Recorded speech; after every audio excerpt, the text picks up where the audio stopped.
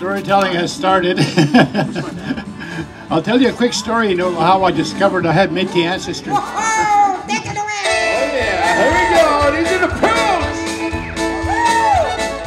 Clap your hands, Saskatoon.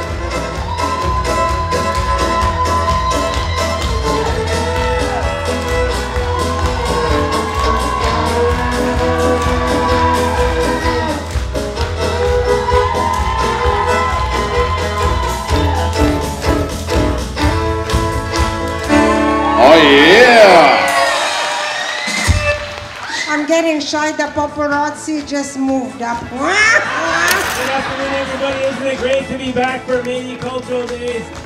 Tante, right here in the homeland of the Métis people of the Territory Treaty 6. Up, three, two, one, next ball!